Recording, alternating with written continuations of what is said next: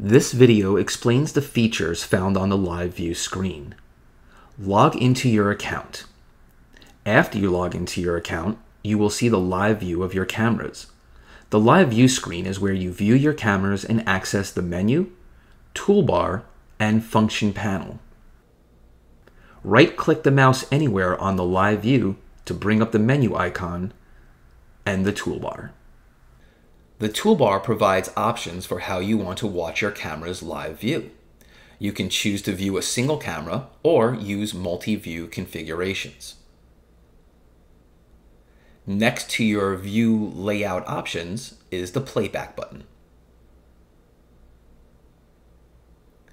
On the right hand side of the screen is the function panel. Here you will find the latest recordings. Simply click on a recording to watch it.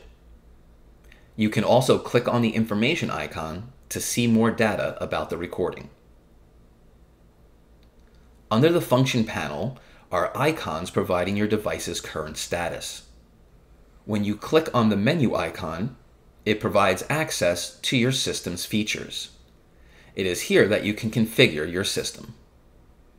For more support videos, quick setup guides, and manuals, go to our support site at support.nightowlsp.com.